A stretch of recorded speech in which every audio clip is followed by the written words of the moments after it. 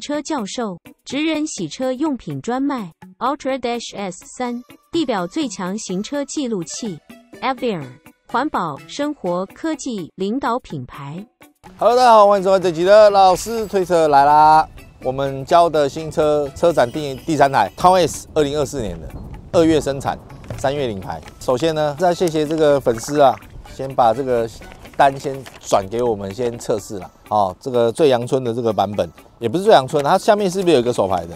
还有两个手牌的，哦，还有两个手牌的呢，所以最便宜的是五三九了。然后再来第二等级也是五人座的手牌的是五十六万，再来就是我们这个等级是五十九万，好、五人座的自排，再上去六二五，好是有 TSS，TSS 就是有盲点嘛，车道偏离警示，还有预防碰撞啊，前车驶离的提醒，还有 AHB 智慧型的远光灯自动切换，好，还有油门踏板误踩抑制系统。好，六二五除了多刚刚那些东西，还有多哎倒车雷达，倒车雷达我们自己装的啦，原厂才两颗，原厂两颗，我们装几颗？四四颗颗，六百五十块，加科批的工钱三万五，科批工钱比较贵啊。然后再来多就是，呃，六二五的呢有十四寸的铝圈。啊，有一个比较有感的啦，黑色电折后视镜。啊，一样都是黑的，但是这个不仅没有电折啊，它连那个镜片的调整都没有电动，所以你是很屌。我第一次看到可以上下左右。它是这样调的、啊，它镜片不能动哎、不是，所以镜片不是从里面调，它镜片是固定的，镜片是不能调的。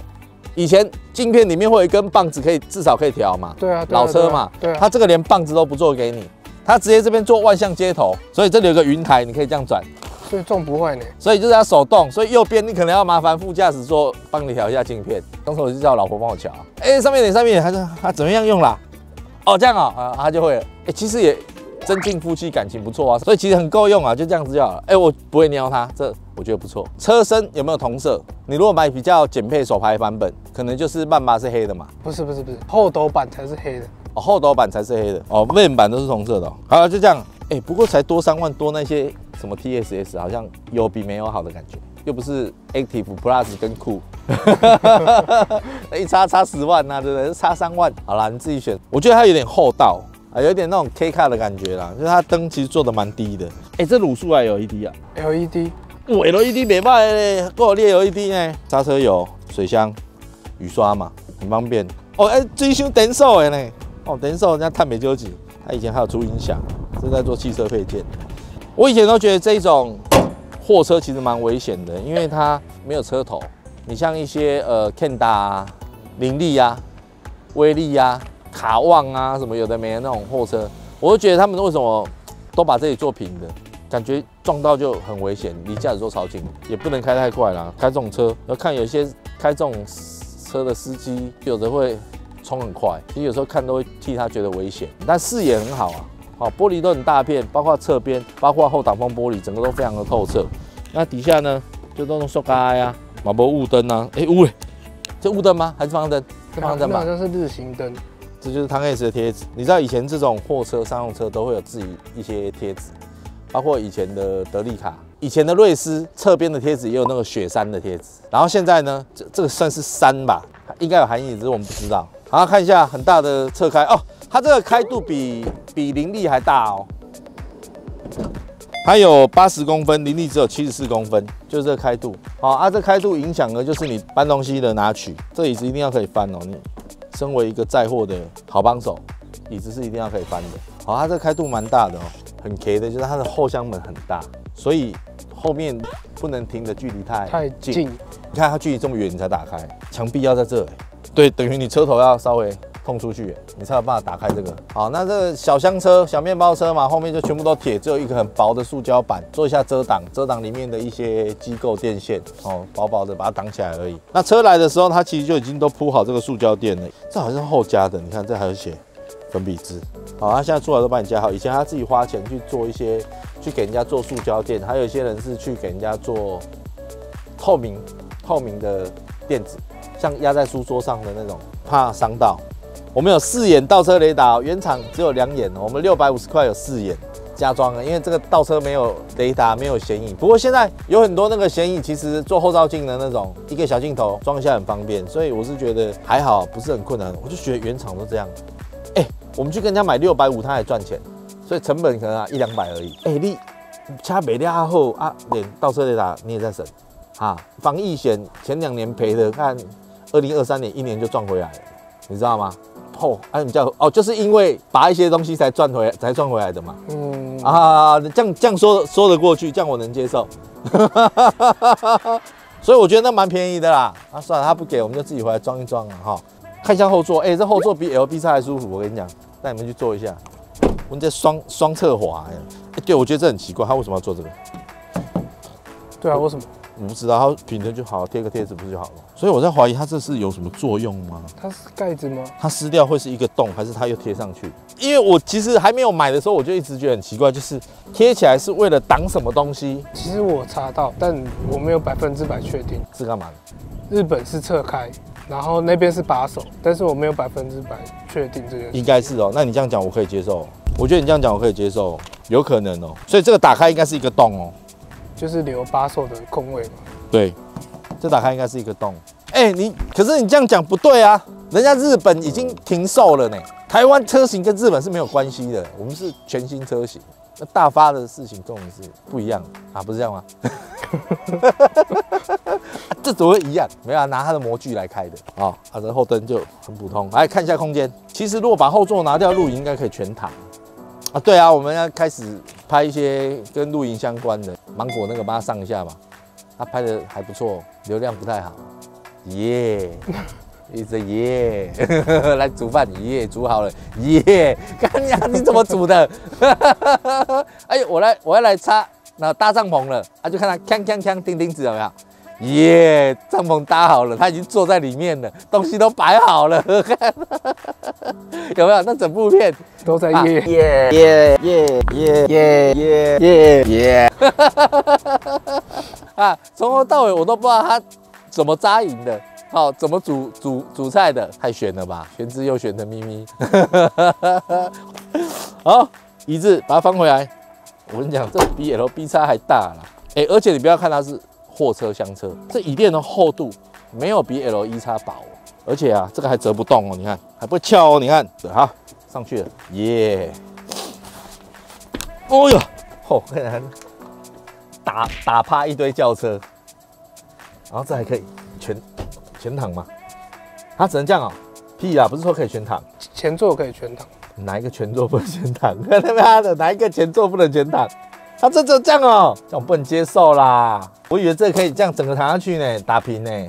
我觉得这样打平比较合理耶。你有时候搬搬东西的时候，座椅全平，你就不用翻起来，你就可以直接把东西箱子放在上面了。啊，后座可以全躺，是不是？哎、它后座在哪？哦，在这。啊，前座了，前座可以这样。这样没意义啊，因为脚没地方放啊。你你看看你脚没地方放，你不要说我，连你的脚都没地方放，你自己看，这脚怎么可能有地方放啦？中控台才那么短而已，你脚也翘不起来，所以我觉得前座这样不是很合理，我觉得后座全倒比较合理啊。最最躺就这样了啦，舒服啦。哦，对，后座有这个哦，我跟你讲，这很这很贼哦。它的配备表上面写后座出风口，对不对？但是它这个是风扇，这不是冷气，就跟那个新卫许一样。就把前面的风抽来后对，它它是风扇，它不是冷气，但它都写出一律都写出风口。你觉得这样合理吗？它是它它如果写后座冷气出风口就不行，因为它写后座出风口嘛。很贼，这样蛮贼的。没有啦，啊就是让大家知道一下，它这个应该是风扇而已，没有冷气啦，就是想办法把这个抽过来而已。它、就门板就这样啊，欸而且它喇叭只有两颗啊，喇叭只有前面有两颗，好不好？这前音场没有后音场，好，然后这个还是用最原始的床啊，前面两门电动窗，后面是手摇窗哦，永远都不会坏哦。手摇窗，哎、手摇窗速度不知道怎么样，我来打，我来打打看，哎，到没到底不不行啊，这么安全。什么鬼东西 啊？所以这只能通风啊，好，就这样没了。所以你只要转两圈而已，所以哎、所以你做电动的也没意思啊。因为它只能到这啊，对，你就到这啊，电动就按了，嗯，到了，嗯，到了。这个是把两个电动窗锁起来，我我不知道做这个意义是什么。它的侧门很难关，很难关。你你轻轻的，好、很长，你关完了回去，你只要太轻，关完回去你会发现仪表跟你讲说你门没关好，它这个侧门要关要出点力气，这才是标准的，要那砰的那个声音，you know，真的啦，你不要想轻，像刚刚阿呆你刚刚关那边，我才想到，你关太轻，那你那个门一定没关好，我觉得，你但凡你想要这样轻轻的这样，它是关不好的，它这个门的正确的关法就是像鲁人勒鼠，你有没有看过？就是赶快要跑了，对，电视的那个就是这样，而且一定要碰以后这个门要钢板要震动哦。哦。你再看一次哦，你注意 take 这边哦，你要关到那个钢板有震动才是真的关好哦。OK，这边呢哈，注意哦，嗯来喽，有没有震动？有吧？蛮大力，肉眼可见，它有肉、嗯那个钢板这样震动，那代表就关好了。你看，你刚刚那边的门就没关好，现在里面亮着。这边来，我刚刚就是为什么我想要补这一趴，就是我看你关这个门，我就知道你一定没关好。现在里面的灯是亮着的，对不对？嗯，有没有？刚刚我们要出发的时候，是不是也一个门没关好？哎对，这是你，你没有让它钢板震动嘛？你懂吗不？要那么大力啊。没有，它这个就是要这样。我们出来就是走一个粗犷，那我在上回关时间，警察要来开单啊，我红线临停呢。比如说嘛，赶快关了，赶快浪杠了啊！就是有没有震动？有嘛？关好了，懂吗？好，然后这个是 Camry 旧款的方向盘，那我觉得它跟这个不太搭，因为我觉得货车就应该有一个货车比较接近货车 style 的方向盘。胎压警示、后雾灯关闭、循迹防滑、大灯高低的调整、停车自动熄火的关闭。好，那这边有个像 Q New 的一个拉杆，就在开前面的引擎盖。回来的时候呢，我找了一下油箱盖，油箱盖开关很很可爱，在这里。我觉得这油箱盖开关很可爱，有没有？一个小舌头，黄色的小舌头，你要扳一下油箱盖就开了。它把这个警示牌、补胎剂、工具包是放在前面的。好，还有反光衣、背心。有没有？上次不知道哪部片我讲反光背心要放前面啊，L B 叉，L B 叉，嗯，对不对？好，然后这个就你看，这个是完全是啊，直接干到底的，没有阻尼的，很正常吧？啊啊，大小也还不错，而且它是做这个像筒子的角度，我觉得还蛮好放东西的。一般是有点斜度的嘛，嗯你就我觉得平插的最不好，就是它的很多欧洲车都会设计那个手套箱打开东西是平插对，因为你做这个高度，其实你看不太到。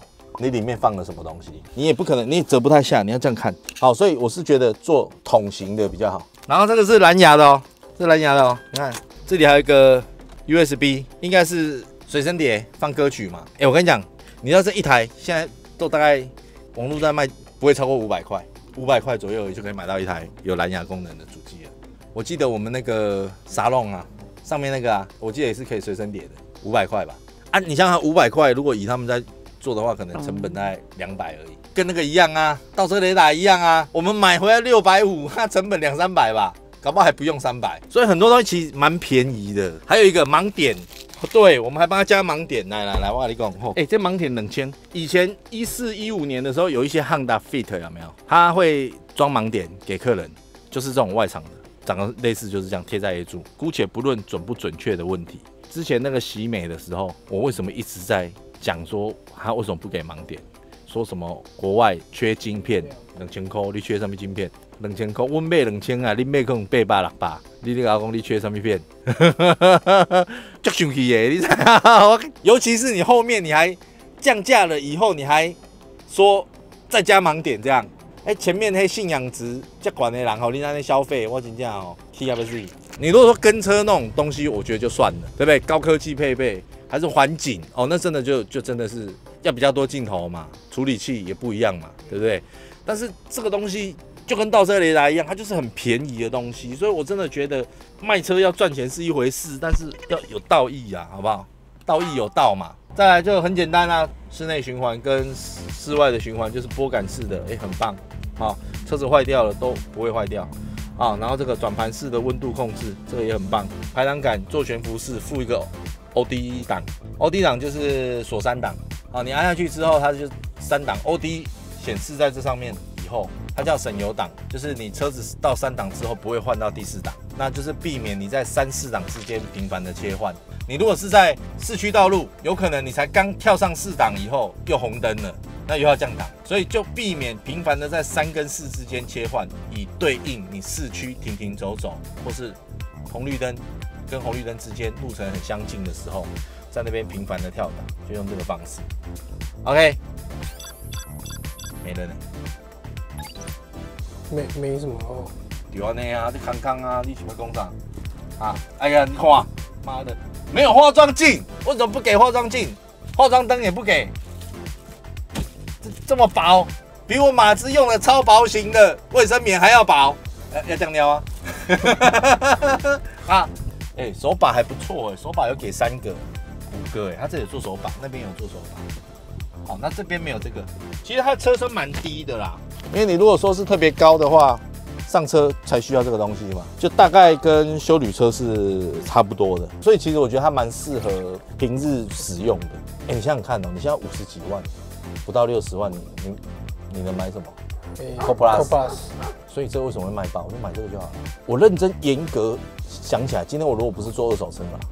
哦，我如果是一个普通家庭，假设我的预算就是六十万以内，Co-Plus 跟这个车，我可能会选这个。我觉得这很棒啊。当然啦，我想实在话啦，如果你真的大部分时间都是一个人、两个人的话，后面是大部分真的会很空。换一个说法说，如果你是会有家庭需求，你家里只有这台车，你有时候可能会要载父母亲出去干嘛干嘛的 c a s c o 之类的，这个车就超好用，油耗比较凶。我觉得前提之下啦，你没有开那么多啦。好，你就是那种小家庭啊，偶尔开开出去，上下班也都还 OK。其实油钱我真的觉得没有差那么多。它表定我记得是十五嘛，但我实际开大概十点多。好了，还不错啦。好了，注意试一下啦。这个我们都被盖小窗，走，Let's go。欧际方向盘，唯一有温度的改装品，圣帕斯。出门在外只有圣帕斯。我怀疑这零到一百可能十秒左右而已哦。十秒啊？十秒。算快了吧，蛮快的啊！我说我怀疑啦，我们又不能测，哎，测了会被撩哎。我 我们又不能测，我只是觉得它起步很快啊。这个哎，我也是开一桶油了啦。我跟你讲，这台车油耗真的是，它这油耗是一格一格的嘛，它那个一格一格在掉的速度是肉眼可见的。有些车子你你很难会看到它掉的那个瞬间，对不对？嗯。但这个油表你可以，我可以看到它掉的瞬间，开开开开少一格。少一格这样啊！我这一桶油呢，三十四公升的油，然后开了三百六十公里，所以一公升换算起来十点五，所以一公升十点五耗油啦。但是我是觉得猜测得到啊，因为商用车它扭力做的比较会做的比较大，而且会做的比较靠前一点。所谓的靠前，就是它的扭力会坐在转速很前面的地方，好，所以你随时在使用都可以发挥到它的扭力。九十七匹的马力嘛，十三点。七公斤米的扭力，后轮驱动，这要怎么讲啊？我们我们当然不能用轿车的标准，对不对？但以商用车的标准，第一个是因为我的脚比较大，所以它的左脚其实没有地方放。你看我这样放很奇怪，很蹩脚吧？我脚如果放在这边是很蹩脚，好像 K K 对不对？那我要放在这个又也是蛮憋脚的。你看脚脚盘被折到，好，所以开这台车我如果稍微开久一点，我就对于这个左脚要放哪里。这件事情我就是常常会感到很阿脏，哦，然后再来第二个就是椅子会热，它这个算是引擎发热椅，因为引擎在这底下，我讲有感哦，不用开太久，你开个十来分钟，屁股就热了。你屁股热的速度跟水温灯熄灭的时间差不多，不是一开始发会有个蓝色水温灯，对啊，还没到水温嘛，对不对？那个就是你的电热椅的预热的警示灯。等到那个蓝灯水温的蓝灯熄灭之后，哎，就代表你的椅子预热好，已经开始可以热了。啊，不过冬天应该是还不错啦，那夏天应该骨沟应该会流汗。哦，是真的有感，而且它椅子很薄啊。哦，所以这个真的是热到有感。好，那没有隔音，这应该合情合理嘛。它轮子很小，所以你转弯的速度也不能太快，也是很合情合理的嘛。风切声很大，隔音很差，都很合情合理嘛。哎，其实我认真讲哦，这个我先做一个总结，好不好？我觉得这车可以买，很好开啊，市区很好开啊，有一种返璞归真的感觉啊。你知道，其实常常哦，我们开轿车开久了，真的偶尔给你开到商用车，其实会有一种返璞归真的感觉。我觉得开到商用车，不管手牌、自牌，就是会很愉快，所有的东西都非常的简洁有力，要什么没什么，不用思考太多，不用烦恼它会不会自动帮你刹车。啊，碰到比较严重的撞击，你也没有什么好留恋，一切就是这么的云淡风轻。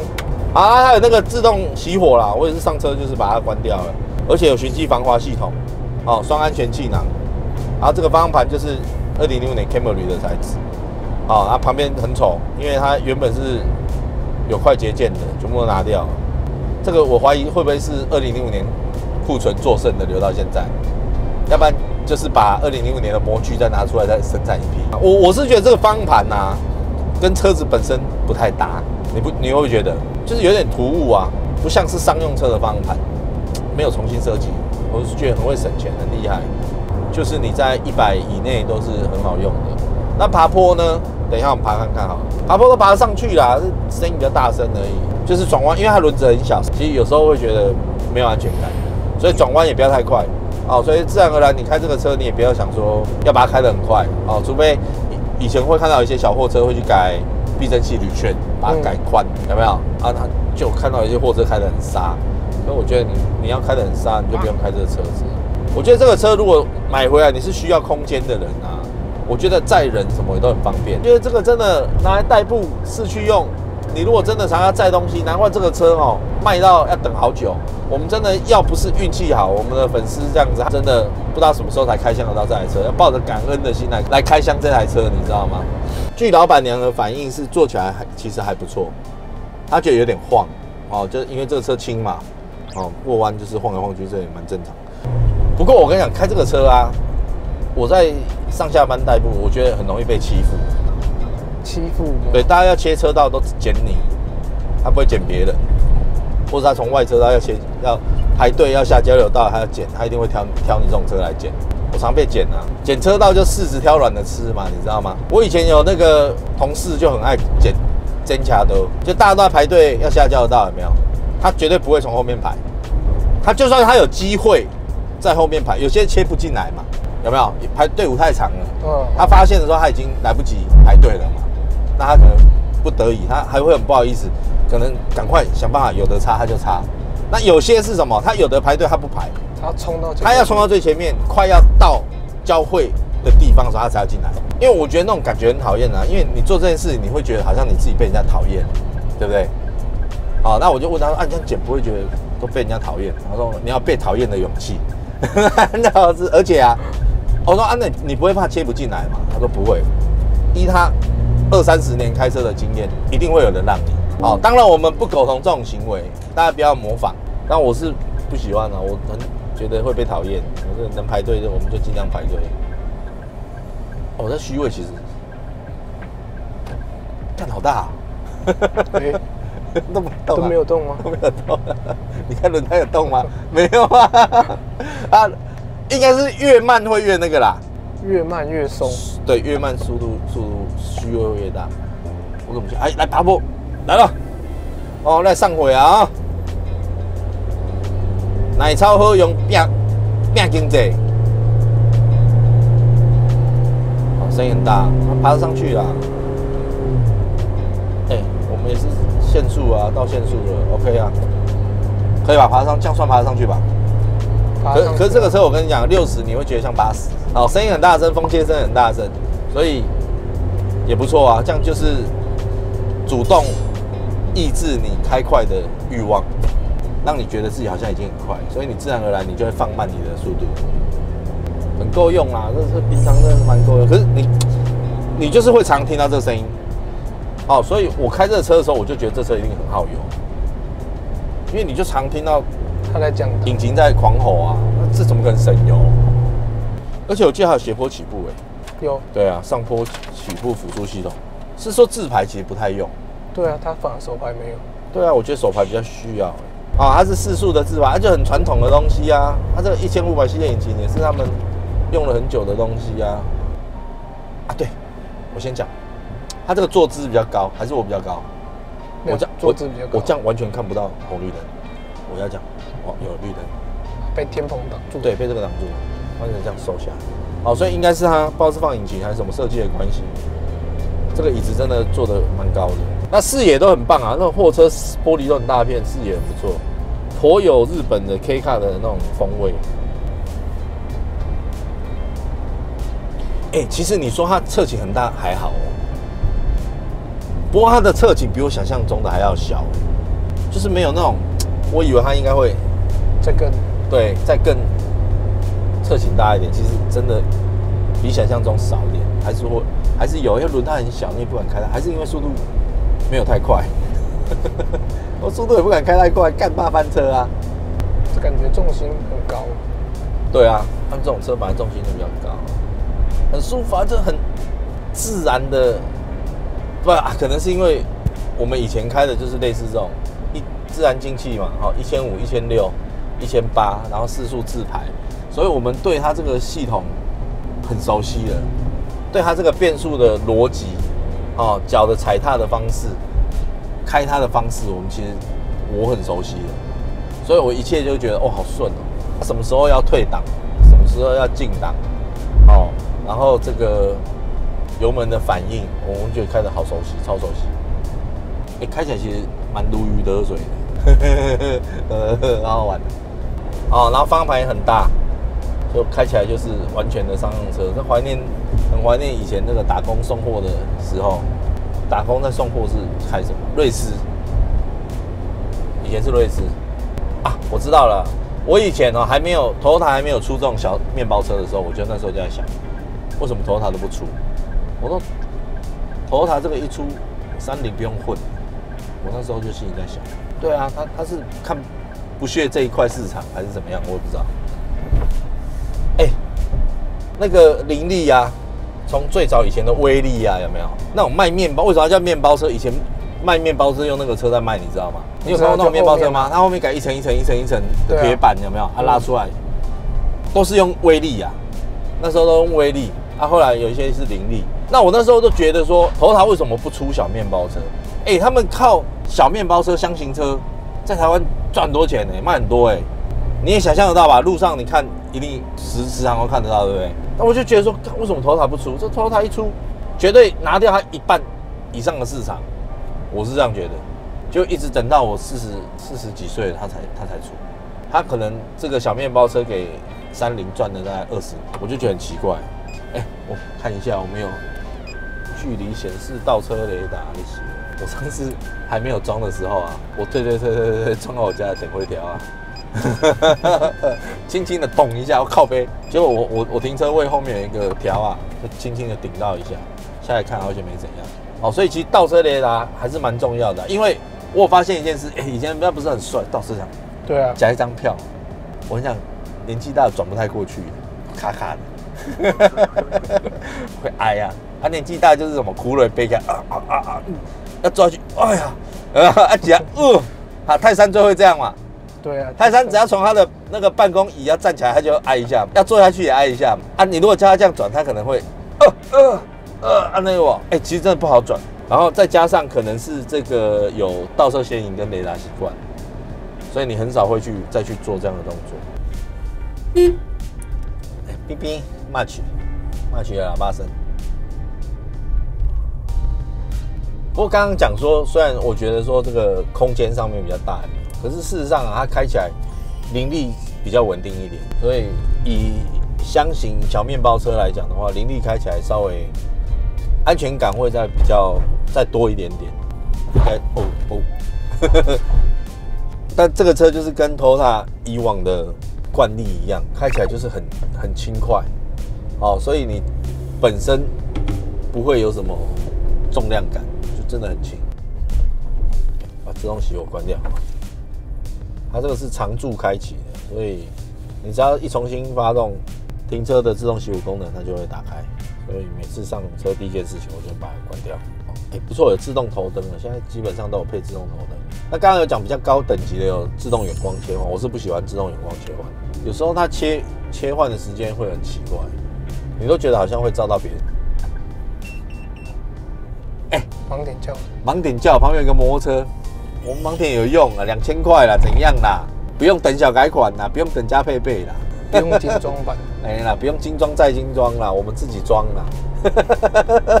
好了，那这个跟大家分享一下啦，就是我们当初为什么会订这个车是，呃，一个嘛，车展车展看了嘛，那就想说，哎，这个车其实也蛮热门的，那我们还想说，这个可以把它做成一个，想办法之后呢，慢慢做一些简单的小小的改装吧。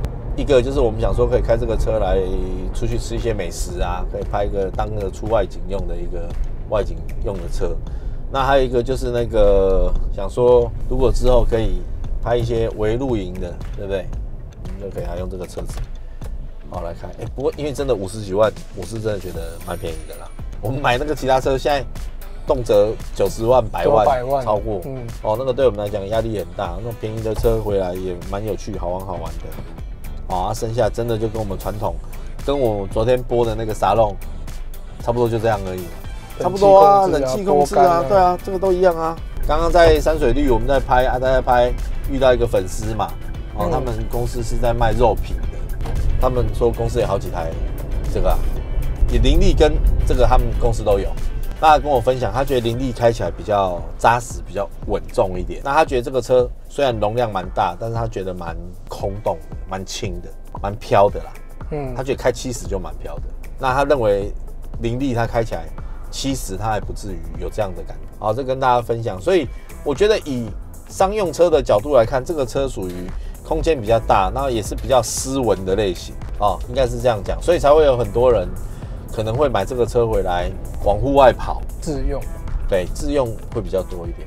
好了，差不多了，这个车基本上简单，好跟大家分享。我们回来未来做一些节目，所以很多观众朋友问，我们应该暂时这个车是不会卖的。哎，上次有一个看到我们去交这个车，有个观众啊，他打电话来说，哎，我我有一台不知道开几千呐，哦，然后你们要不要买？他是六十二万多的，然后我们就哦是啊，那你要卖多少？你知道卖我多少吗？六十二万五原价。开多少？三千左右，不是啊，卖我原价，怎样？你要干嘛？那心态是什么？因为他想说你，他帮你排队的概念，手续费的概念，不用等，对，不用，还顺便白嫖了三千，这样，嗯，就等于说你叫他帮你排队去买好吃的甜甜圈，对不对？买十个啊，他先吃了三个，对，然后还要卖你原本的价钱，类似这种概念，是不是？他有吃呢，他不是没吃呢，你懂我意思吗？你说代牌要钱就算了，牌到就给我零公里。哎，其实这车高蛮高的哦，我到有些停车场下去会怕怕的。哦，对啊，这个车，这车其实蛮高的哦。嗯，对啊，我上次去那叫什么君悦饭店，君悦饭店不知道是它停车场比较旧还是怎么样。哇，那其实下去有点怕怕的。那个水管觉得，我，你都看到水管上从这边看，离离你很近，离我很近。对，这车比想象中还高。以上呢。